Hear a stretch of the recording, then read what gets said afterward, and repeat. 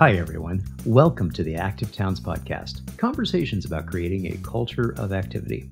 My name is John Zimmerman. I'm the founder of the Active Towns Initiative, and I'm honored to serve as your host each week on this podcast journey. Thank you so much for tuning in. It's always wonderful to have you along for the ride.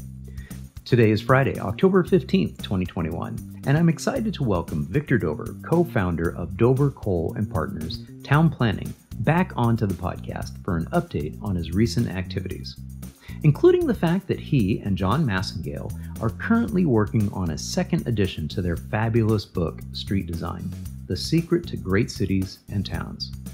We also discuss why it's so important to start first with the green parts, the parks, trails, and preserves, when going about the process of planning. We then talk about the importance of transforming our streets into comfortable, pleasurable, and beautiful places that encourage people to walk, cycle, and linger in these vital public spaces. Part of that transformation must also include creating bike networks similar to those seen throughout the Netherlands and in Copenhagen that are safe and inviting for all ages and abilities. But first, before we dive into those discussions, please allow me a brief moment to say that this episode is once again being brought to you by the generous contributions of our donors, sponsors, and monthly patrons on our Patreon page. If you'd also like to help support my efforts by making a contribution, just head over to my website at activetowns.org and navigate to the donation page. It's also important to mention that there are three additional ways that you can help support my efforts. The first is to simply subscribe to the audio podcast on your preferred listening platform. The second is to subscribe to the Active Towns YouTube channel. Just be sure to click on the bell next to the subscribe button so that you'll get an alert when I post my new video each week. And the third, please help me to spread the word about the Active Towns Initiative and my content by mentioning it to a friend, a colleague, or even someone in your community's leadership that might benefit from this information. Thank you all so very much for tuning in and for whatever support you're able to provide as I strive to grow this movement to create a culture of activity for all ages and abilities. Okay, let's jump right into my conversation with my good friend, Victor Dover.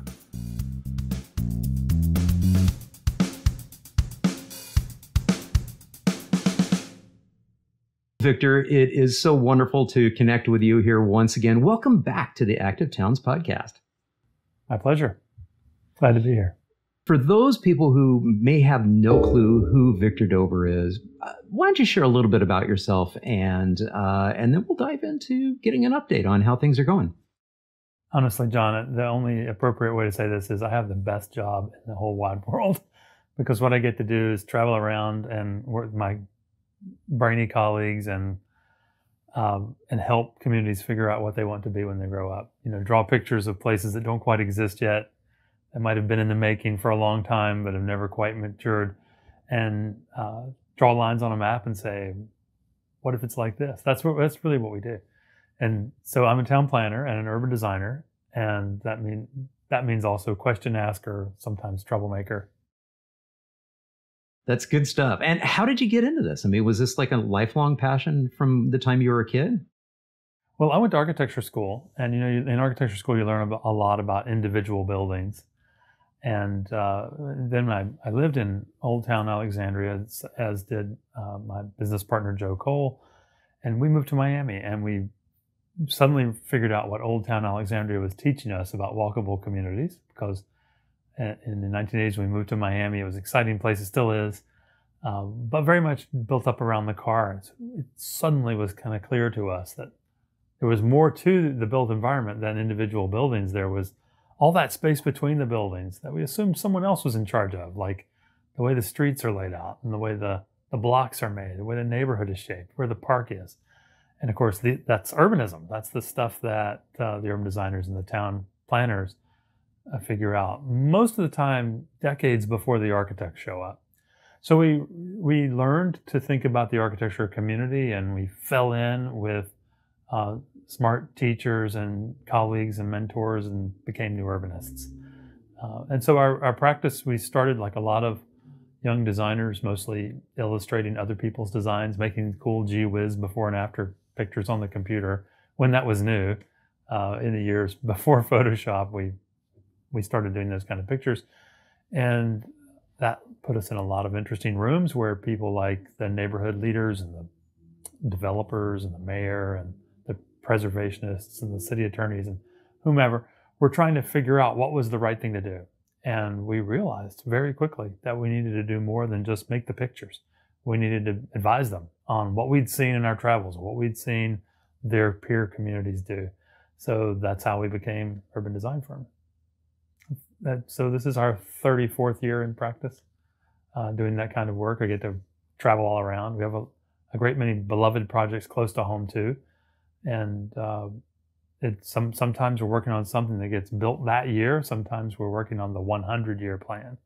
So uh, that, that that work takes us about half the time to work for local governments and community groups, and the other half the time to work for private developers and investors or families or foundations trying to do large scale land stewardship. But um, you know, we, we end up in every case having to serve as translators between these two groups. So we draw a lot of pictures. We, we make illustrations of what if, you know, before and after, um, helping people visualize change before it occurs so they can make better decisions about what kind of change to allow or promote in their town. Yeah, that's it's fascinating too because you, mentioned something there uh, about uh, the space between, and I believe you wrote a book about the space between. Well, co-wrote uh, with my buddy John Massengale. Uh, together, we wrote a big fat book on street design. Uh, it's a really multi-purpose tool. It's about that thick, and you can use it as a doorstop, a hot plate. You can use it to um, to hold something down as a paperweight but uh, but the real reason for it is to is because it has 500 pictures in it, and it was sort of a subversive document. We we went around and gathered up all these pictures and measurements and so on of great streets like like well like Church Street in Charleston, and with the hope that some mayor or city council member or neighborhood leader or developer would go to that meeting with the Department of Transportation or the Department of Public Works and slide the book across the table and point to one of the pictures in the book and say, How come we can't have a street like that one in our town? Uh, and it's the most gratifying thing in the world. I hear all the time about people who are using it just that way. And there's a little bit of news about the street design book. Uh, okay. Yeah. Now, go ahead. Uh, seven years later, uh, John Massengale and I have just been asked to produce a second edition new, expanded, and updated. Uh, so watch out for that in 2022. Wow, so that's fast in 2022. Is it going to underway? Is it going to be a, a, a, an entire rewrite, or, or it's? It, it seems like if it's 2022, it's going to be you know rather surgical and strategic. It'll be a little of both. Um, there were a great many uh, threads we opened in the book and asked questions about and speculated on that have since come much more sharply into focus in the uh, in the years since. And uh, for example, the, the emerging thinking about bike infrastructure in the city a little more refined now. We've had obviously had the most amazing experience uh, during the COVID pandemic with giving people back their streets that had been surrendered to cars. So we'll expand on that topic as well and the uh, the interior of the book will be changed as well because we're going to go back and do revisions on practically every page. The big change will be it will be in soft cover instead of hard cover, so it will be more affordable, and then and uh, it'll be color throughout, and we think that'll make it accessible um, to a lot more people instead of just the those who have been using it as a textbook. Fantastic! I'm very excited about that. I cherish my copy and uh, and and refer to it frequently. And you, you mentioned a, little bit about the the changing dynamic in terms of you know bicycle infrastructure and also the pandemic. And it, it, you're absolutely right. I mean, I speak frequently about the fact that in the last five to ten years or so, we really appreciate so much more how important all ages and abilities approach to uh, to active mobility uh, infrastructure. I mean, it's it, we knew it then too, but we really appreciate it much more now. So, or at least that's my perspective. What's your what is your thought on that?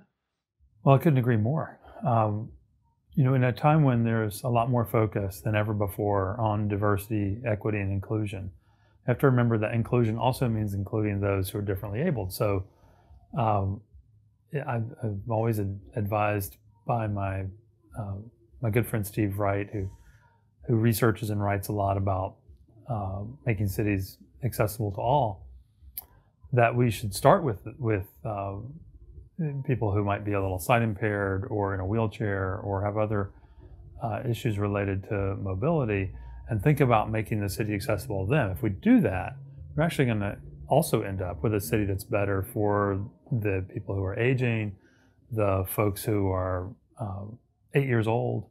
Uh, so in a way, everybody benefits from starting that way, and I think that that is I think it's increasingly evident in our work. I'm I'm, hoping it is. And I noticed that our public agency clients are more aware of it now. They're asking for it before we have to bring it up, which is great.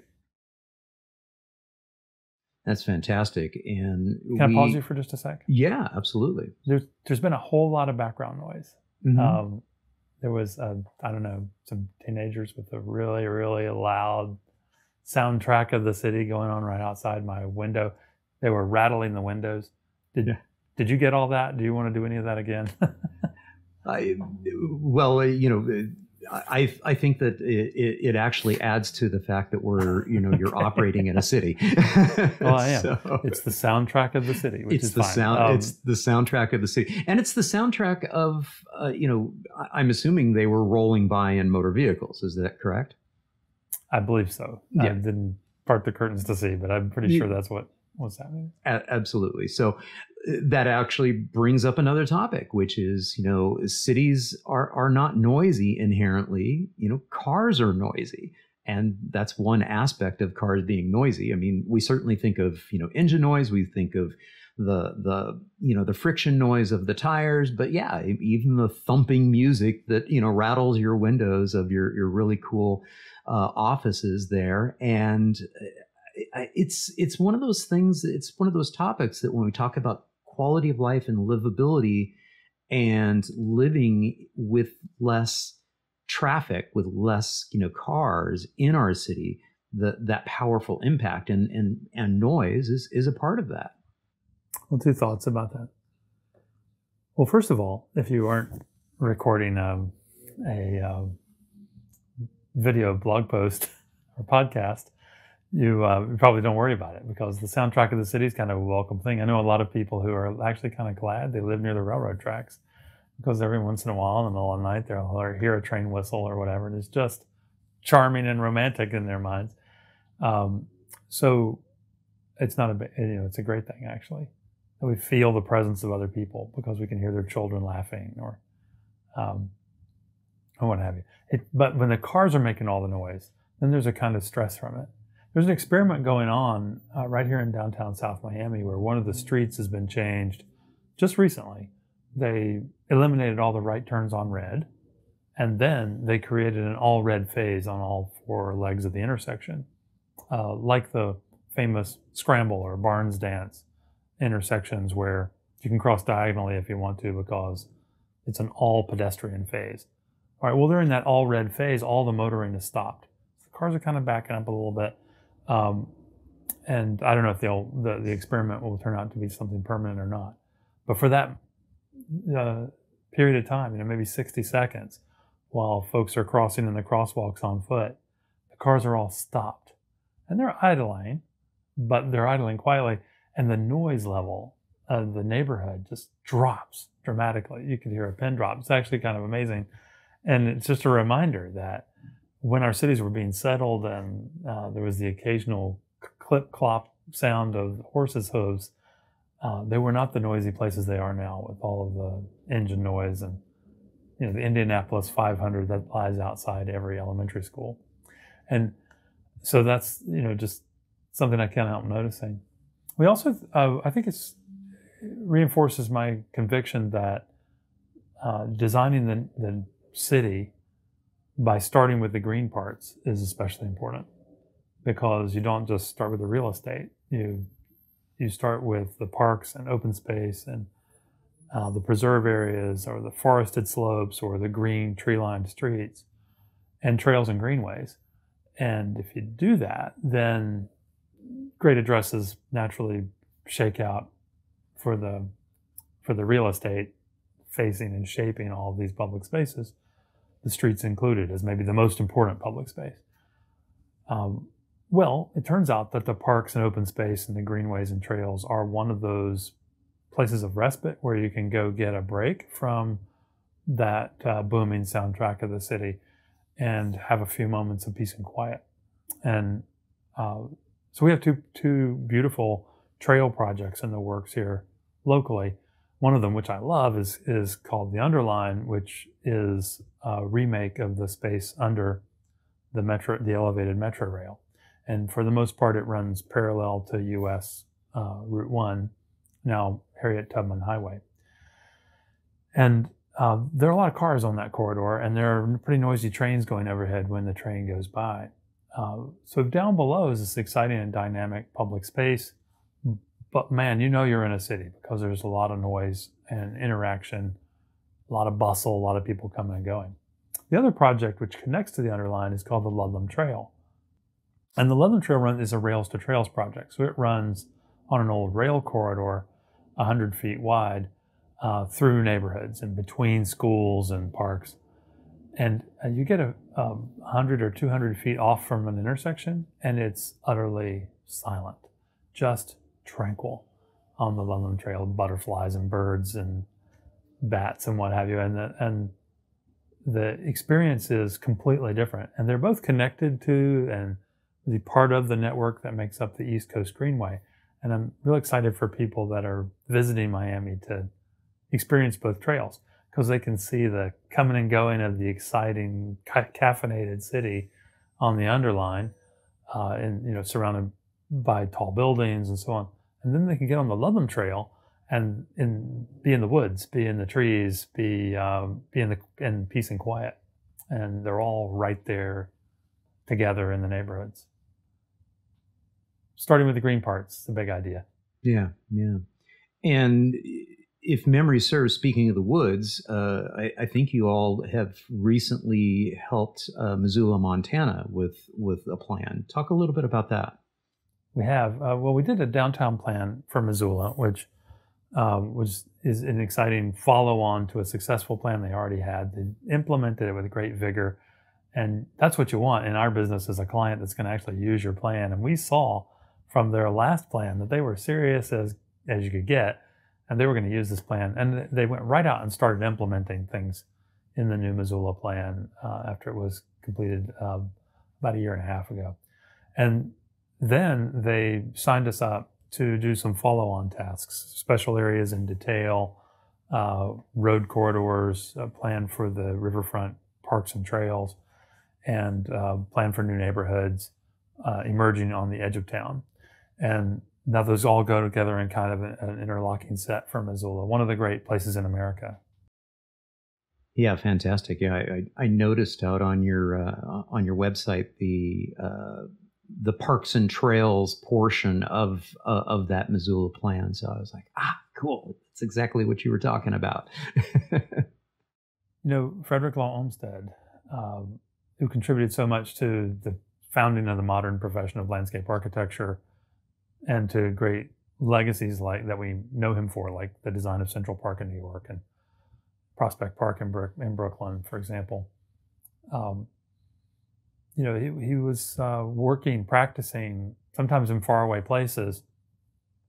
Like just like we have to go far to faraway places. Missoula's kind of far from Miami, but we knew we could help make a difference there. And Olmsted, uh, after the success of Prospect Park, was asked to come to Buffalo, New York. This was at the time when Buffalo was at the you know zenith of its prosperity as the wealthiest city in America, and they were they were implementing the idea of uh, of the late 19th, early 20th century um, beautifully. And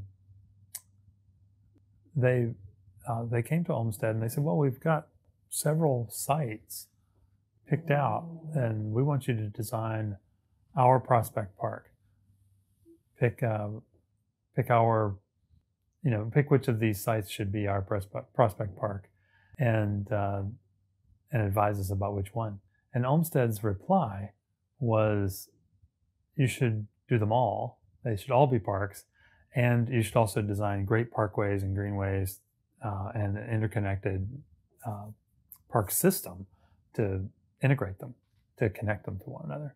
He was absolutely right. He did that, and that's how Buffalo earned the nickname the best designed city in America um, from starting with the green parts. Yeah, that's a great story, and it, it, just it makes me think too about you know going back to um, your book and street design and the integration of of nature, you know, right outside our door, and uh, you know the tree canopies and things of that nature. Uh, tell us, Victor, why are street trees important? well, all right. How much time you got? Street trees are so important. We could talk about it all week. Hey, I, have got plenty of time. I can tell you, I, I, I, am I am a bit obsessed with street trees um, as a topic. You know, the reason for uh, going out and, and working with John to create a book about street design was because we felt, after thinking about it for 25 years, that street design was the one thing we could least afford to get wrong. You know, in, in the making of great cities, the cities that people love. The subtitle of the book is Street Design The Secret to Great Cities and Towns. However, street design is also the thing most often gotten wrong in modern times. You know, the inadvertent mistakes or sometimes deliberate mistakes um, and bad habits. And they're made collectively. We, we forget how important those are. I remind audiences that the, the, the streets in their town are the biggest thing they own. We own them together, but if they stop and think about all the things they own, you know, they'll you ask them to make a list. They'll list their car, their house, their refrigerator, their clothes, their their iPhone or whatever. Um, and I have to remind them, no, you also own the library, you own the city hall, you own the, the central park, you own the town square, you own the streets, and the streets are the biggest thing you own. So we should be very uh, demanding, I think, of our ourselves and of our local governments in making great streets and that doesn't happen nearly often enough. So that's really why I got motivated to make the book. Well, the more closely you look at streets, the more obsessed you will become with street trees. Um, and you can summarize it like this. We, we, we had the opportunity to go back and visit a neighborhood we had designed in, in Davidson, North Carolina, a few years earlier. And I, there was a lady walking. I snapped her picture. She was walking down the sidewalk and I talked to her. She was a, senior citizen. I asked her what was important to her about the neighborhood or why, you know, why she chose this street to walk on. She pointed to her house down the block and she said, Look up. You see those trees? Those trees are my lifeline. Those trees are the reason I come out of my house and uh, and I get my daily exercise.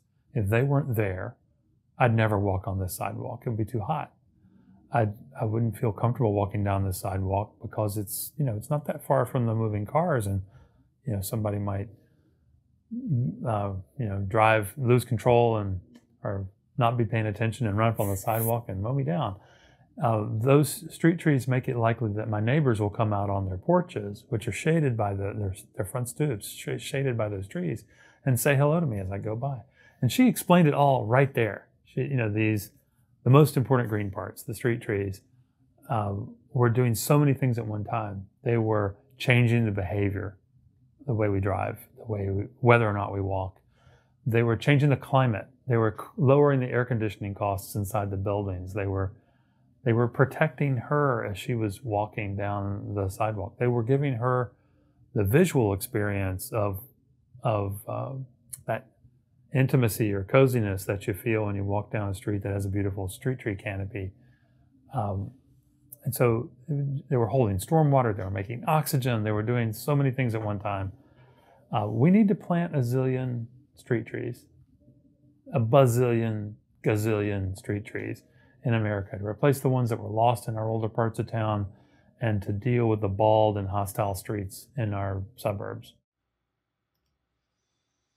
Yeah, and you mentioned uh, the the traffic calming aspects that the that the street trees uh, may be able to to provide, and uh, I think it, it actually may- happens two ways, John. I'll tell yeah. you.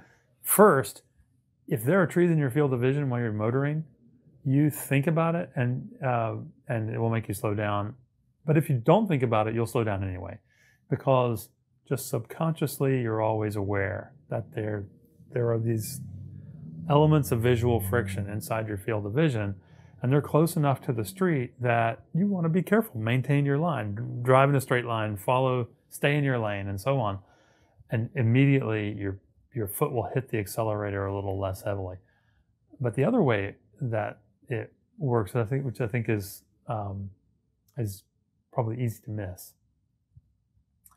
is that in the absence of the tree you feel like well i can take my eyes off the road I don't. I can look down at my phone. I can, I can mess with the radio or, or whatever, and and you'll just again without even thinking about it, you'll drive a little less carefully. You'll move a little bit about a little bit more in the lane.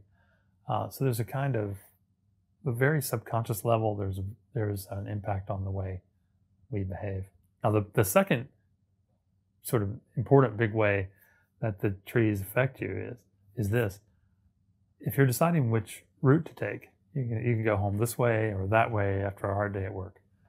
Um, and one of those routes is uh, maybe even a little faster, but uh, stressful and hostile. It's full of more cars and it's uh, and it's got a lot of lanes, and um, and everything is moving a lot faster and so on. And the uh, but the alternative route is the one that has a beautiful street tree canopy. Chances are you will every once in a while at least choose the beautiful route, even if it takes you a few minutes longer. It's because you know your mind craves the positive experience you get when you're among nature. There's, um, you know, so Benton MacKaye, who was a really uh, influential thinker uh, in the early 20th century, he thought up the idea of the Appalachian Trail. He was, um, he was a landscape observer and a landscape architect. He he uh, wrote a lot of wise things about cities and it was one of the reformers who advocated for parks and and, and regional planning, kind of on a big scale. And Benton MacKaye, I'm paraphrasing a bit, but he had the idea that to remain truly human, you should have daily access to what he called three elemental landscapes. The first was um, the primeval landscape, he called it. But by that he meant wilderness, you know, forest or um, open space, park, park space, conservation lands. Uh, but I think he also meant spaces that had been created to give you those same kinds of impressions, like the artificial, uh, let's call it man-made comp- composition of uh, naturalistic landscapes like we see in Olmsted's Central Park. And then the second landscape he, he recommended we have daily access to was the working landscape. And by that he meant farms and or the working waterfront or um, the, the places where people make things. And the third of these was the city, the neighborhood. He called it the landscape of, of man. We probably would call it landscape of humankind now. Um, but that's the that's the city, you know, the the place where we come into daily interaction with other people, and uh, and we see all sorts of human creativity continually on display.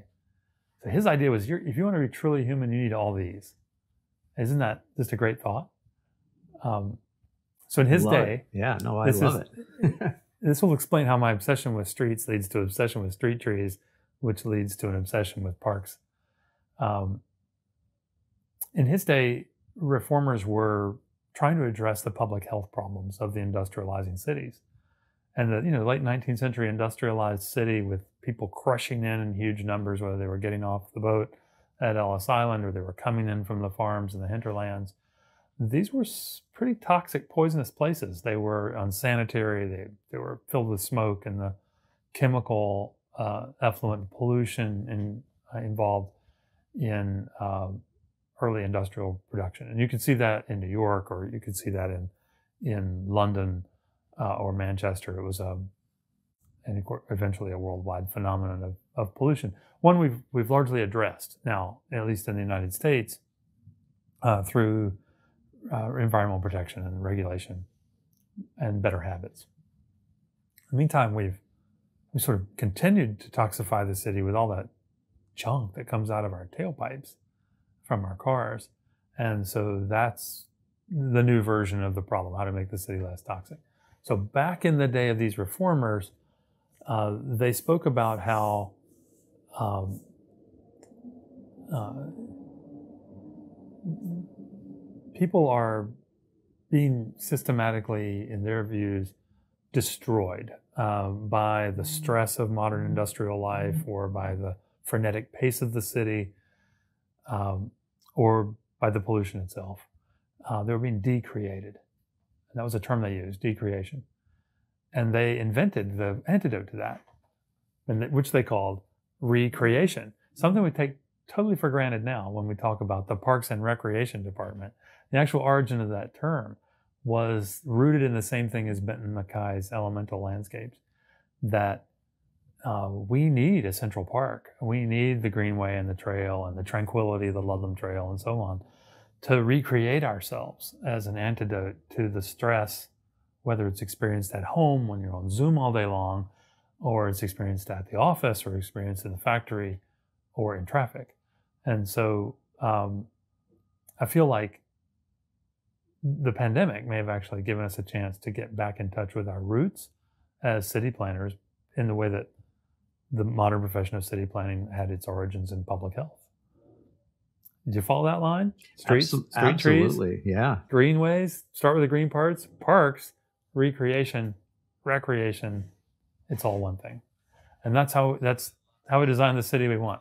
Uh, absolutely. This is what I love about having conversations with you, Victor, is I learn something new every single time. And as somebody who has spent his entire 30 year plus career in, you know, trying to encourage healthy, active behavior, I never knew that about the word recreation.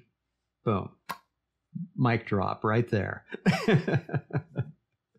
that is fantastic. I spent a lot of time in the, in the last few years as a board member of of two groups. One, our, our local Parks Foundation, the Parks Foundation of Miami Dade, and also the the National Recreation and Park Association, which is a kind of a governing body and credentialing body for uh, parks managers and parks and rec directors and uh, people involved in the making of parks, and really a leadership group in the parks movement, the modern parks movement, which we have to remind ourselves is really only about 160 years old. Um, so in, in that experience, I'm constantly getting confirmation that uh, the, the key to your city is in the parts that are outside buildings, in the public realm, between buildings, not just the number of square feet you have inside buildings or the land uses that get designated for your buildings on maps or the number of parking spaces. Yeah, the uh, a couple things you know pop into my mind when you were just saying that. Um, one is your hashtag Park Life that you you frequently use. um, live, live, a park life is a motto of the modern parks movement, and one, yeah, yeah, the Parks no, Foundation of Miami Dade uses a lot.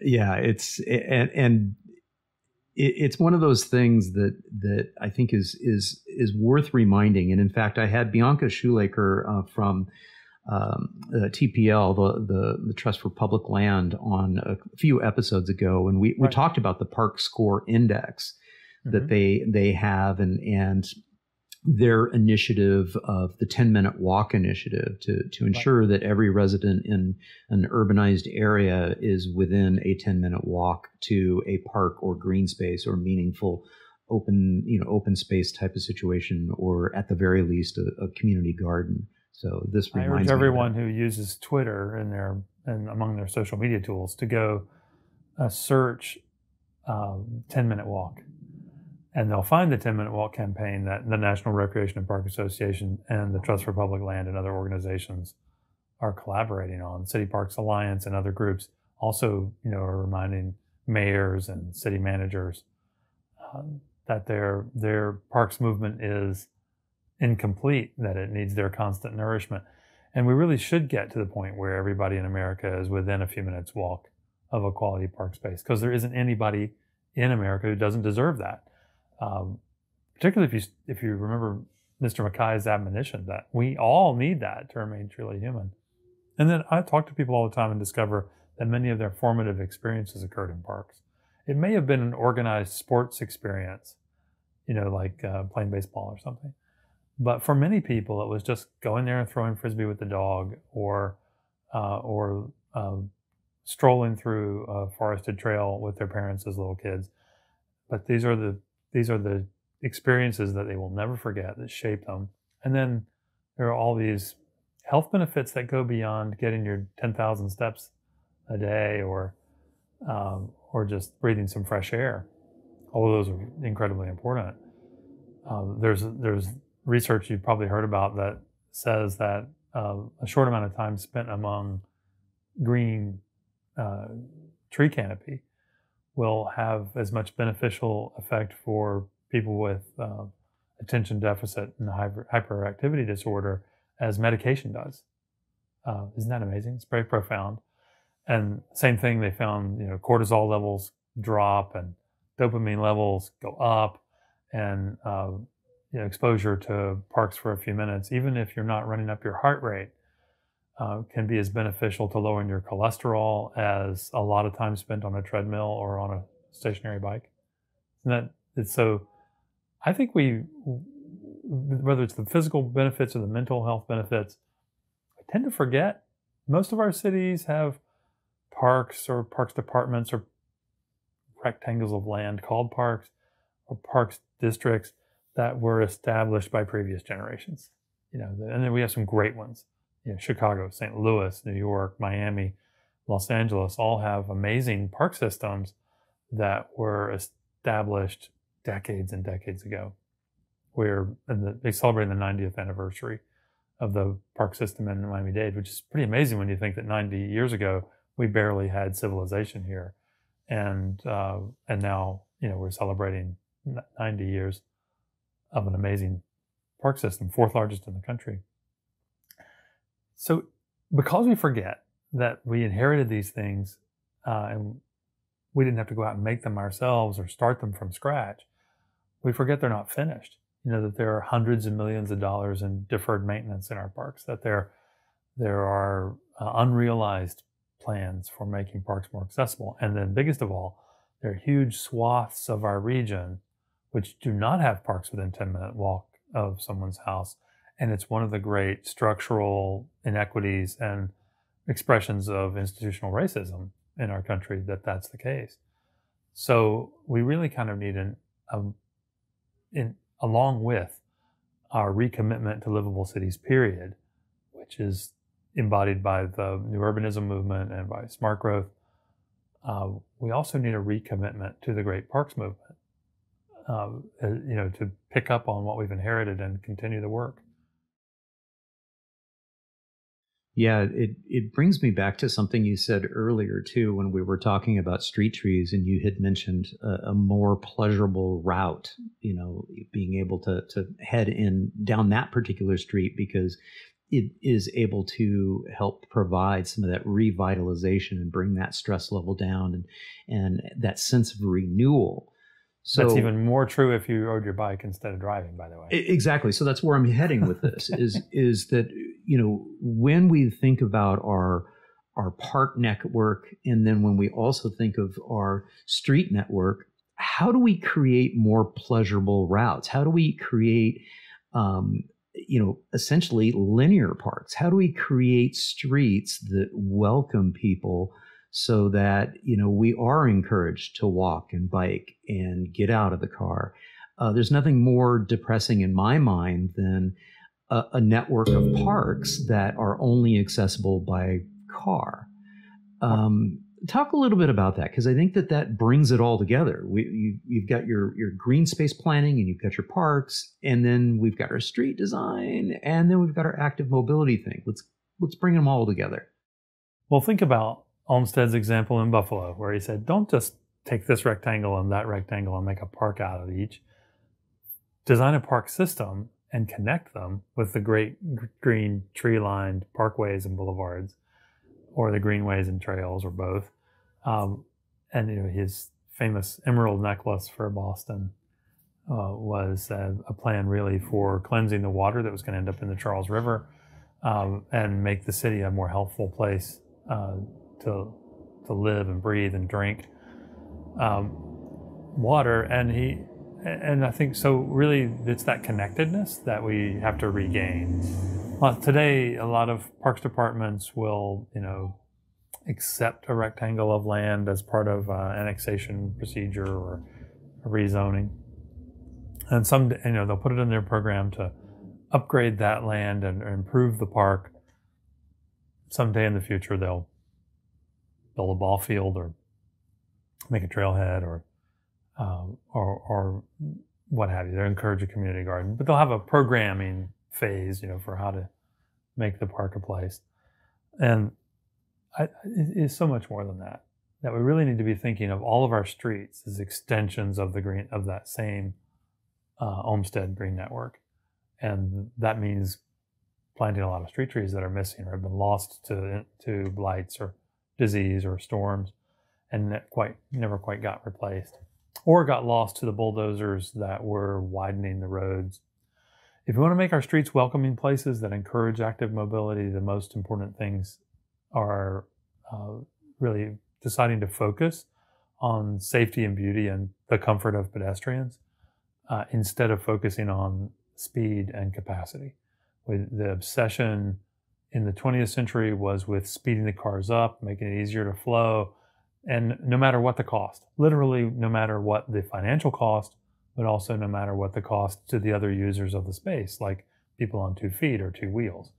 And speed over safety translates into you know more than 40,000 people a year dying in traffic, uh, which is ridiculous, and uh, and cities that are dangerous by design.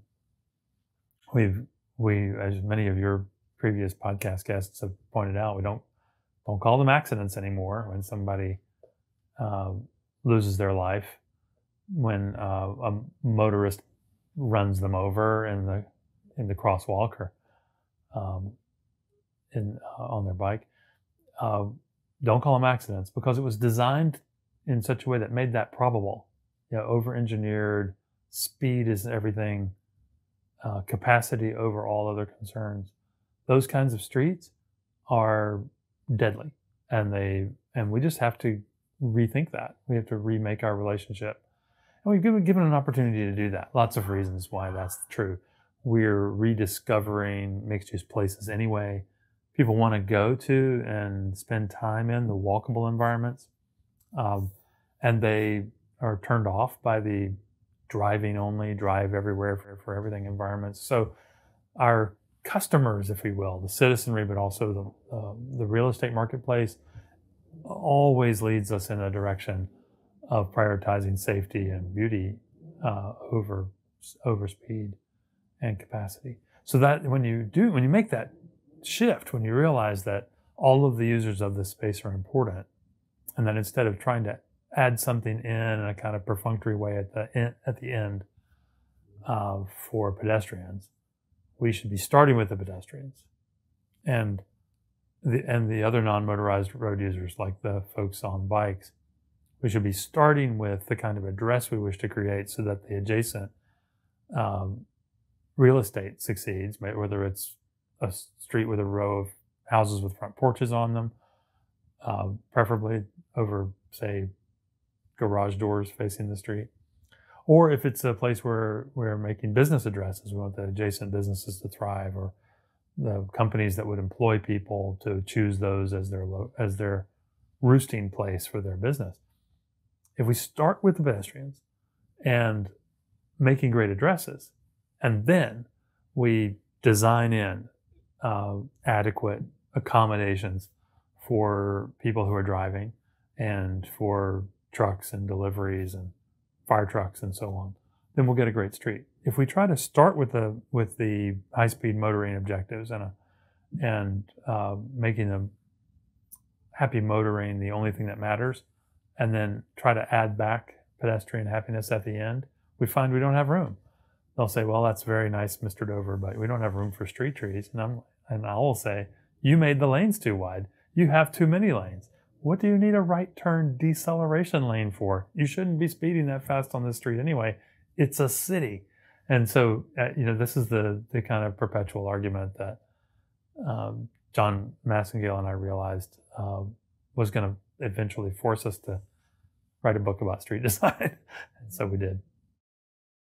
I love it. And uh, one of the things that we've seen in the last, gosh, couple years, I guess it is, is in addition to the 10 minute walk, we have the 15 minute city and, you know, the one minute neighborhood. And, and so, and you started to mention this, you know, these are meaningful addresses that are within easy walking and biking distance. And then we see, uh, you know some of the advances that we're seeing happening right now in in Paris. Talk a little bit more about that because we're really getting into the essence of of land use.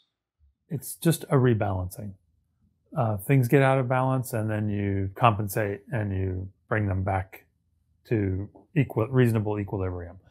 And uh, so, the Parisian experiment with um, with de-emphasizing the car that's just returning Paris to being Paris after Paris was allowed to get out of balance. And some of its wider, straighter thoroughfares were made into places that, um, while still photogenic, are a bit exhausting.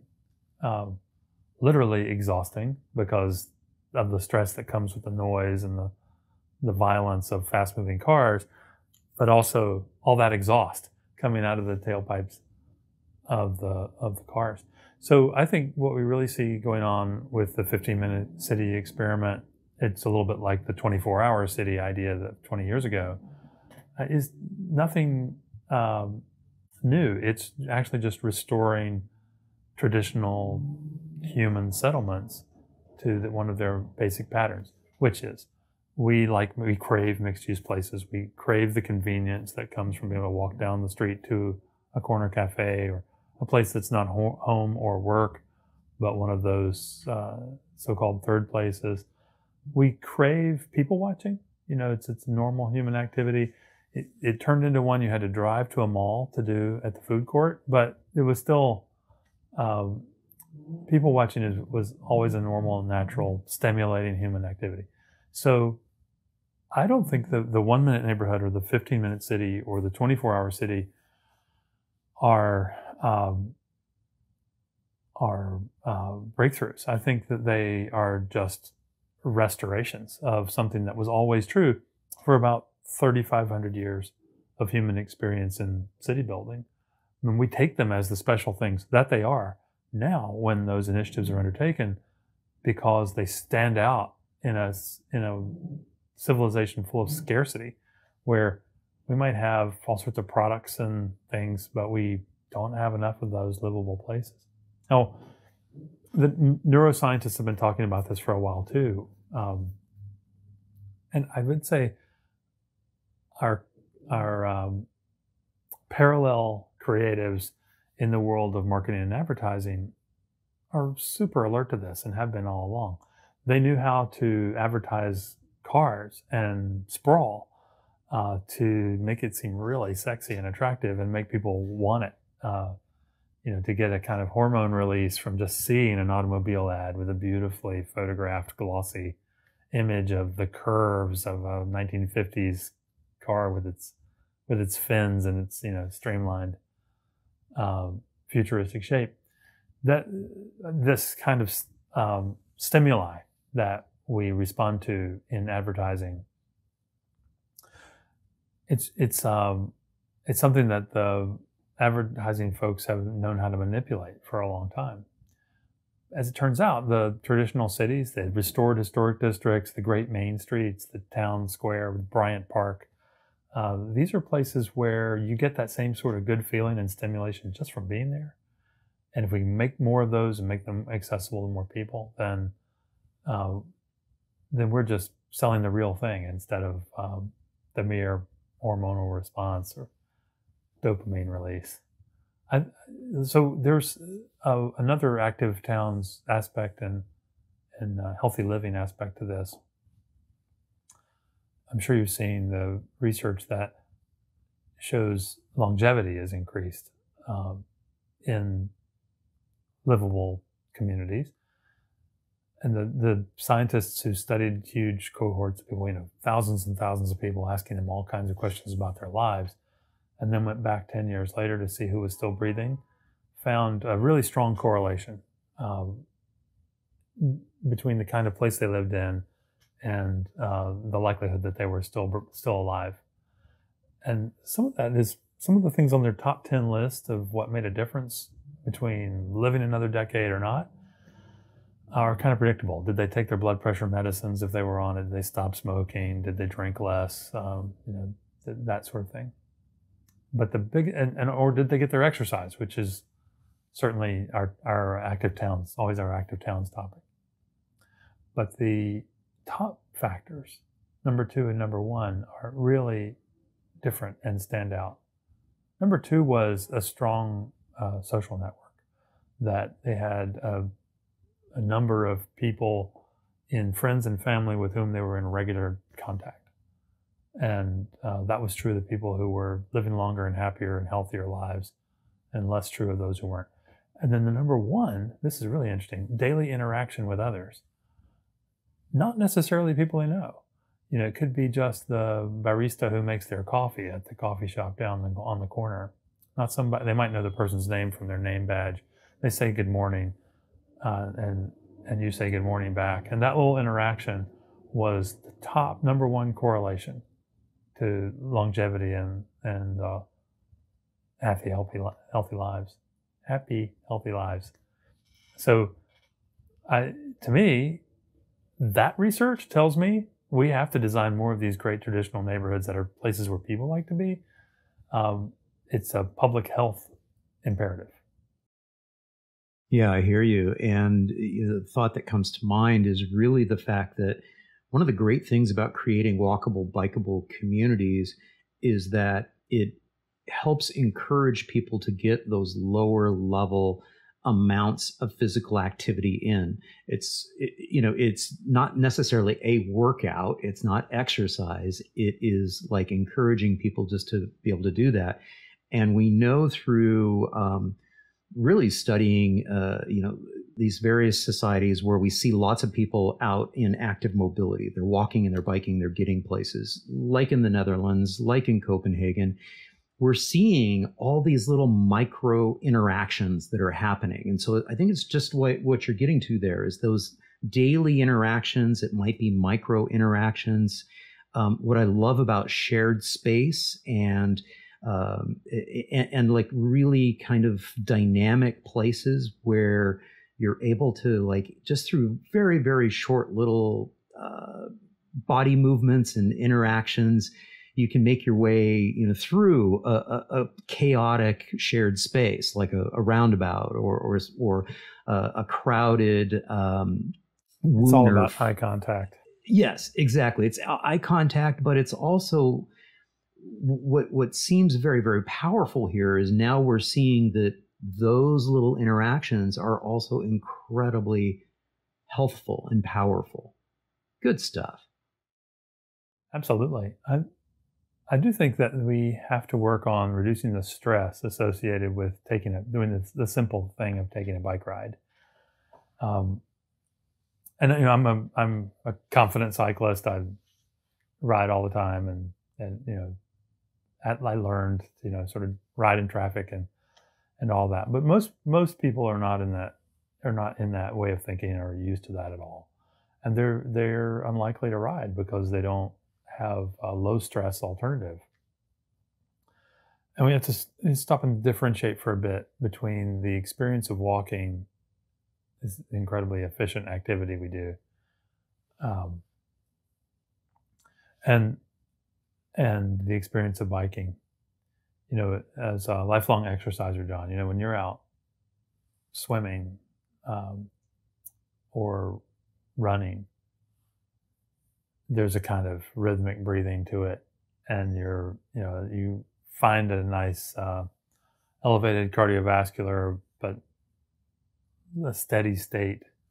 Um, it can actually be remarkably refreshing and calming, even if you're in the in the zone and working you know your cardiovascular system. And if you're a good swimmer, you're a confident swimmer, you're probably not going to drown. If you're um, confident at walking and, and running, um, you might occasionally stumble, but very seldom, right? Most of the time, you're not going to fall down. You're going to do fine. And you don't have to think about it very much. Um, but in the city, for most cyclists, the experience is anything but that. For most people on the, you know, holding the handlebars, they have a running inner narrative in their head that um, is all about staying safe because now they're hurtling down the road in a little bit faster way. And they may just be taking a relaxed, upright, you know, Dutch bike kind of ride um, at slow speeds, or they might be, you know, in the drops like a racing uh, a fitness cyclist, you know, clipped into the pedals and all that stuff and really hammering it. But either way, they're going a lot faster than they were if they were walking or even running. And as a result, they know that if something goes wrong, it can the you know they'll hit the pavement with a lot more violence. And so, what's that inner narrative? You're, you're as you're pedaling along, you think um, everything you see becomes a potential obstacle, and you know what they are: gravel, glass, dog, leash, stop sign, red light, red tail light, signal, truck, hole, glass you know, so this one after another, you're you're looking at all the things, and you know, even if you're in a bike lane, it, it could be uh, tree limbs that have fallen in it, or uh, chances are there's a UPS truck or an Amazon delivery truck parked in your bike lane. Um, you're gonna have to go around, and so we're the inner voice uh, to you as you're piloting a bicycle uh, is trying to keep you safe, but the experience can be unduly stressful and I think uh, it's really great that these days bike planners are talking about level of stress analysis as the the cycling parallel to the the dumb old discredited level of service analysis traffic engineers are doing for cars. But seeing how we can lower the stress, more protected places to, to bike, more separation where it's appropriate, or shared space that causes the, the slow operation of motor vehicles. So as we're interacting with them, there's just feels less risk, less danger and risk. And also, you know, that the people who are in charge of maintaining the public realm are caring as much about the bike lane as they are about the car lane. Uh, in many cities where we work, there's a bike lane right there uh, next to the car lane, or even separated by some stripes of paint or some ugly white plastic sticks, or even a little green. Um, chances are they run a street sweeper right down the car lane and they clean it up in the middle of the night a few times a week they just push all of the debris, the gravel, the stuff that fell off the back of a produce truck or whatever, uh, over into the bike lane and leave it there. And so uh, we have to kind of rethink and reform our public works departments and the people who are maintaining our streets to say, hey, if you're going to pl- uh, plow the snow off of the lane to get the cars moving, plow the bike lane too. Don't pile the snow in the bike lane. Uh, if you're going to enforce uh, you know where it is and isn't allowed to park or um, or uh, or double park. Uh, teach that Amazon driver the bike lane is not the place they're supposed to block, and um, and let's let's sweep the glass, the broken glass, out of the bike lane too, not just out of the out of the car lane. Yeah, it, that really resonates with me in the sense that uh, I've kind of made it my own personal mission to reduce my stress whenever I get on the bike, and which is almost every single day. I'll I'll jump on my uh, my bike to either ride to the trailhead to go for a run in in the the, the Barton Creek Greenbelt, or uh, to the grocery store. And so you know I throw my panniers on the back of of the bike and and head out I can't even remember Sounds like the civilization, last. John. I know, isn't it? It's, it's well, we're, so so let's let's address that. Yeah, we're we're extremely privileged that we happen to live in an area where we can get to meaningful destinations um, by either walking or biking. Um, for the most part, the car sits in the driveway and and doesn't move. Um, and so, yes, we have that level of privilege that we're able to to live in this manner and be living a, a car light lifestyle. Um, but in addition to that, I also have adjusted my own behavior. By the way, why should that just be for the lucky people? Like like you get exactly. to live in a lucky it shouldn't. neighborhood It, it, it, sh- in it Austin. shouldn't. That should be normal. Absolutely, you you get a hundred percent uh, agreement with me as well. Um, but one of the Liz things, Moule helped pen something she called the Pedestrian Bill of Rights. yeah, I, of course, I would expand to include the other non-motorized users like people on bikes. Yep. Uh, But I think uh, everything you just described should be normal, and it should be the exception that people have to live a completely car-dependent lifestyle, if that's what they choose, rather than the rule. that's a whole bunch of active towns right there. so one of the things that I've really done with my own behavior is trying to uh, to relax, and you know, I I now view my bike as simply pedestrian plus. Hmm. I do not travel at high speeds. I do not wear a helmet. And I choose routes that I know are going to be, you know, very comfortable routes for me to go. And as it turns out, I'm surrounded by a whole bunch of my neighbors that are out there doing the same. They're sharing street space, they're walking their dogs. Maybe more now than at any time in recent memory. Exactly. And we don't have sidewalks in our neighborhood. So that's where the people are occupying is the streets. And even though the, the streets, you know, may have a 25 mile per hour sign on them, some of them are even 30 mile per hour signs. Uh, what has happened over the last, you know, 18 to 24 months now is we've seen a, a calming effect. And that brings us right back to where we were before with traffic calming um, and how important that is because you, you started to talk about the, the the the level of violence that is out there, the hostile environment of our streets, and and that's just you know that's a waste if we walk outside our door, we walk outside of our from our home or our office, and the environment that we have is a hostile, noisy, polluting place.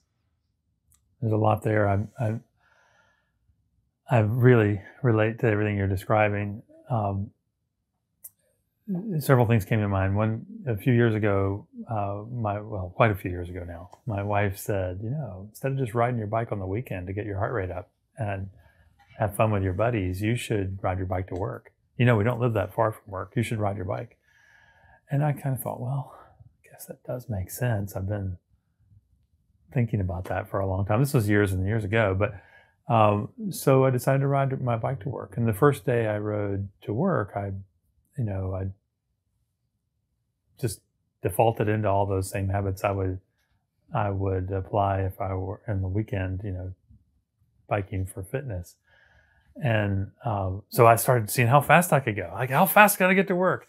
And pedaling as hard as I could. How how fast can I make this thing go, even at rush hour? And um, get, get my heart rate up like as if I was exercising.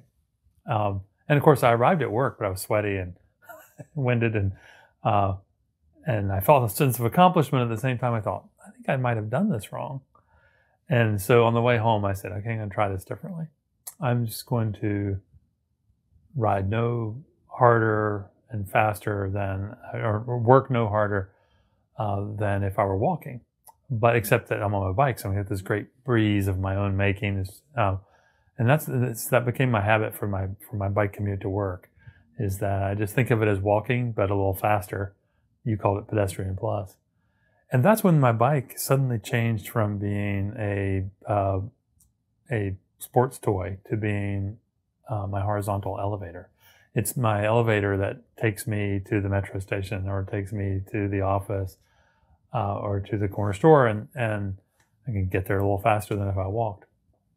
But it takes me to uh, to transit. So in a way, once you adopt this attitude toward the toward the bike that it's your solution to the first and last mile from transit, uh, it becomes like an, an extender uh, for the effectiveness of your local transit system. Because when I realized I could combine the bike and the bus or the bike and the train, suddenly region you know, destinations all over the region were accessible to me in a way that I hadn't really realized before. And uh, around that time, the rules were all relaxing. People were becoming more accustomed to seeing cyclists in Miami-Dade. Um, I argued that we're still an endangered species, but we're increasing in number all the time. Um, th- there's an old joke that in Miami Dade, we constantly get uh, written up in the national media for having that year the fastest growing percentage of daily bike commuters, which is pretty amazing, right? When you think about it, hey, look at us, we're number one. We have the fastest growing percentage. Of course, if you start with a sufficiently small number, then it doesn't take that many additional people to to translate statistically to a fast to a faster growing percentage. But there are more of us, and so the others out there, and like including those that are driving, are a little more accustomed to seeing us in the space, and they are beginning to behave like they, they grudgingly or willingly accept us in the space. I think that's all improving. But the bike is like the horizontal elevator now. I love it. The Victor powered people mover. I like that.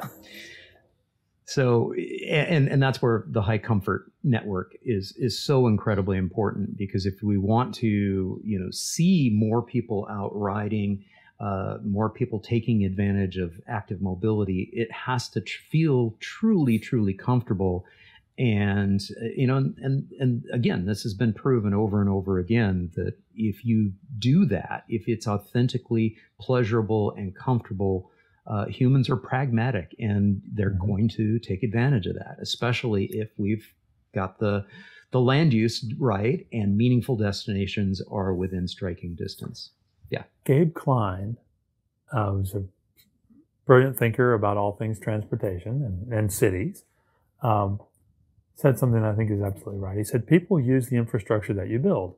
So if you build highways and freeways and wide, fast roads and a bunch of parking spaces, then people drive. But if you build bike lanes and transit, then people use bike lanes and transit and, side, and sidewalks and so on. And that is such a simple idea, but it is it crystallizes what we need to go do as a nation or a planet uh, in the coming decades. Um, we need to build the infrastructure uh, so that people can feel natural doing things that are part of the solution rather than more of the problem. Whether the problem is health related or the problem is the health of the planet, uh, we need to make it easy and pleasurable to do those those uh, green mobility solutions. Absolutely. Very wise words, Gabe. hey, Victor, um, to close us out, what are you most excited about right now in 2021? Oh, that's, that's you know that asking me which project I'm the most excited about is like asking which of my children do I love the most. I, we love them all; uh, they're all great things to do. But I'm I'm actually excited about seeing the integration of the really small moves with the big ones. We're now finally, I think, getting to a point, not just in our practice, but in a lot of comparable practices around the country, where we can see an integrated um, set of solutions that are connected to each other across scale. So the the idea of the future of the region can be expressed in the design of a single neighborhood or a single street corridor or um, or a tiny little infill development. And so in you know, in our office these days, we're we're working on implementing at different scales the idea of, of livable, walkable urbanism um, we're working right now on a, a, pocket neighborhood, an idea that you interviewed Ross Chapin about uh, a few months ago. Uh, Ross is responsible for being the, the father of the modern revival of the cottage court and pocket neighborhood, as he's as he's termed it. And I think uh, one of the one of the most exciting projects we have on the board is also one of the smallest because it involves uh, small scale, incremental and gradual change rather than uh, abrupt, gigantic change. In most towns, you know, the city council or the planning board is confronted with big decisions about gigantic and abrupt, rapid change.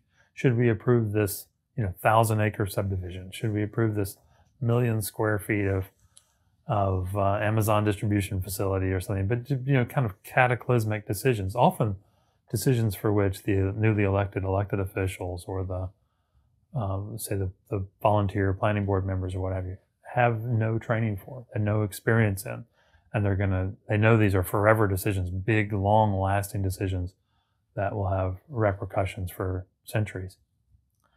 Uh, so I'm actually excited about seeing small things you know, small, the next smallest increment of change, as our incremental incremental development alliance friends call it. Uh, so the pocket neighborhood that that uh, Ross has popularized, or uh, the improvement one street at a time, the idea of the small and local development, uh, building capacity for a thousand small developers instead of just one big corporate one. I, I think that's our new version, our 21st century of small is beautiful. I love it. Doing what you can at that, you know, microscopic level. It's not even just the neighborhood level. It, it, it's starting to get into those sure. those pocket sizes of, of being able to to do it. And if you're taking things off in, in smaller chunks, then maybe we're just needing to, you know, take down some of the barriers that are in place. You know, whether they're policies or, or things that are uh, in, codified in codes to be able to make it easier to be able to do the right thing. You know, and and be able to bring a little bit more life to that block level. Well, instead of the built environment being something that happens to us that we just accept, uh, maybe maybe grudgingly, and something that we more or less tolerate, in the same way that you know Americans got accustomed to to kind of tolerating the burger that was made at the at the corporate chain burger joint. We need to be a little more demanding and also more involved in it like the the built environment needs to be a product that we're all working on, not just a few anonymous corporations or uh, real estate trusts or fat cat developers from far away.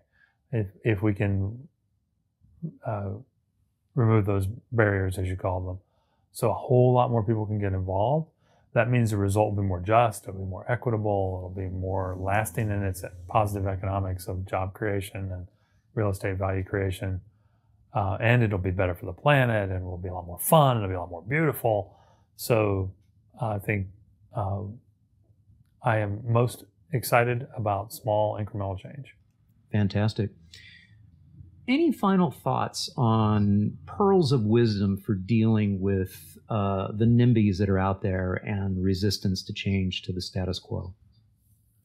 Well, I'm glad you asked about that. Actually, my colleague Jason King, who's a principal here in our office, um, just wrote a book called The Climate Planner, and it's uh, about it, our experiences uh, working on plans that, in one way or another, are essentially climate ad- adaptation plans, uh, adaptation plans for all the whole suite of 20th century problems, including climate change and sea level rise and so on. Um, and uh, he deals in, in, some exquisite detail about well, what works and what doesn't in interacting with uh, a skeptical public. So I encourage everybody to go check out Jason King's book, uh, The Climate Planner. You know what works most is to tap into people's own experiences and have them come to the realizations themselves, not to force feed feed it to them. In uh, you know, in planning, you know, you, you you study a lot, you travel a lot, you gather up all this technical expertise and mastery and all that stuff. But the dirty little secret of city planning is that people don't like being told what to do. Which is what city planning sounds like, you know, saying the street goes this way and the zoning code says do this thing and what have you. So, but people don't like being told what to do. They like coming to the conclusion on their own that uh, this thing or that thing is the right thing to do. So, how do you do it with um, not in my backyard skeptics who are not so sure about whether they want commercial activity near their homes or they want to, or not so sure whether accessory dwelling units would be okay um, you know, on the lots in the neighborhood, in, in their neighborhood. And I think the answer is you try to get them to go experience it themselves or remind them that they might have experienced it themselves when they went on vacation. Um, tends to pretty good that if they're somebody with enough time on their hands to make time for a city council meeting or a planning board hearing, they've they've also traveled and they've been to Charleston and Savannah and um, they've been to San Francisco and they, they've um, and, they've you know they, they've sensed Old Town Alexandria. They or they even know what Seinfeld's apartment looked like just because they saw it on television. But you can plug into their experiences of real places, then it all sounds a lot less threatening. And the turns out the place they had the, all those great memories, or they took those great uh, family photographs or cherished Instagram memories, were in places where the built environment was configured exactly the way we're suggesting. Like those thousands of years of human experience in city building, it's configured with walkable streets and configured with uh, beauty first and with street oriented architecture. And probably things were a little closer together, maybe even touching each other. Uh, that is, those things like buildings. And that, that, um, if you can make that connection, then you're a whole lot more likely to have them arrive at the conclusion that we might actually be able to build our way out of some of our problems, that change and growth could make things better rather than worse. And that's the key to arresting NIMBYism. If we, if we can restore confidence in growth and change, instead of leaving people under their default assumptions that growth and change makes things worse rather than better. And they are conditioned to believe that's true because so much of what they live through and is all around them is built evidence supporting the idea of that conditioning that that development made things worse. Um, it's important for the planners and the architects and the urban designers and mayors and all the and all those with those kinds of jobs that we recover our credibility. But I think it's even more important that the developers do so. And you know the um, there is a, an assumption among the not in my backyard contingent that developers are the bad guys and bad gals uh, who are the problem. And um, and certainly it's true in some cases, but the but most of the time, developers are just doing what they can. Um, an old friend once said, "Developers do the deals they can actually do," and that might be the one that complies with a whole lot of really dumb land development regulation. Um, zoning and minimum parking requirements and deep setbacks and um, the separation of land uses and things. They're, they're building it that way because to do so otherwise requires mounting a political campaign and getting special permission. So if you want developers to recover their good reputations, you have to give them permission to do the right thing and let them make money doing it. I often remind people that Thomas Jefferson and George Washington were real estate developers. So we we need to find a, a beloved uh, character like uh, some of our founding father, fathers there that were have ties to transportation and active mobility, because when we look at the status quo resistance to uh, changing parking and changing travel lanes, you'd you'd think that we were you know destroying people's lives and livelihoods. But again, it's the same thing. It's it's it's change and and it's it's uncomfortable and and uh, it's fear inducing. And once you get the fear inducing aspect of it, you get the fear mongering going. So, hey, LeBron James rides a bike. There you go. Le- Le- LeBron is cool, and he rides a bike. well, and I guess that, I, that's a good point. So it, it really is a matter of you know normalizing this. I mean, that's sort of fetishizing it. Of you know somebody famous is doing it, but what we were talking about earlier is just making it normal that you would walk to a grocery store or that you would ride your bike to school or to work or a grocery store or to see a friend. You know, it should not be, as you mentioned earlier, this should not be something that's extraordinary. This should be something that, you know, we can do quite easily and comfortably and safely. Victor, it's always such a pleasure to chat with you. Thank you so very much. I, I so value our friendship and the ability to, to chat with you and, uh, and, and be able to get you once again on the Active Towns podcast. Thank you so much. Thank you, John.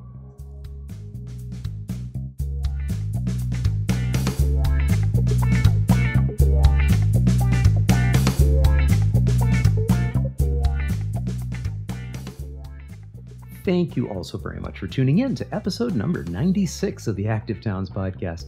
I really hope you found my chat with Victor informative and entertaining. I know I always learn something new every time I speak with him.